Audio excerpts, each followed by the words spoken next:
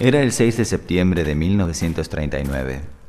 Menos de una semana después de haber cruzado la frontera polaca, los alemanes estaban en Cracovia. Aunque aún no lo sabíamos, nuestros días en el infierno comenzaban.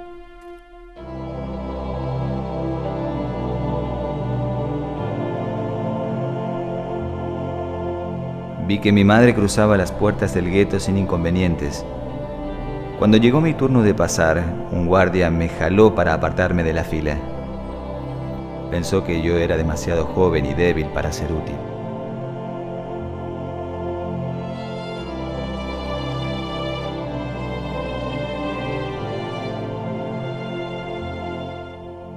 En Varsovia los judíos vivían hacinados. ¿Cómo podía suceder algo así? Me parecía imposible.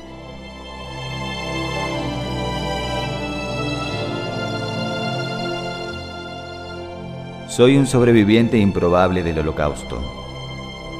Tenía todo en mi contra y casi nada a mi favor.